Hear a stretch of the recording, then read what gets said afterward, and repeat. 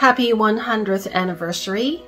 And I am very honored to be able to celebrate this special milestone with um, Palo Alto Rotary Club. I've been a Rotarian for seven years and why I choose to stay in Rotary, I think it boils down to two things, fellowship and service.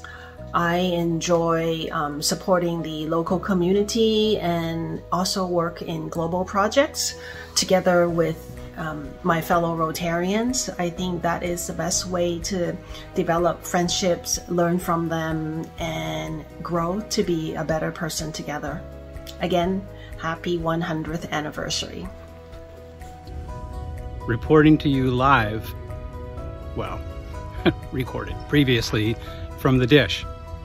And I literally mean the dish. Let's take a look at this because this has a little bit to do with why I joined. I spent time abroad in some pretty difficult locations, huge, huge needs. But I wasn't born to live there. I live here. That's a blessing. How could I stay connected to projects, people abroad and impact them and live here and also do good around the area, Rotary. Why am I continuing to join?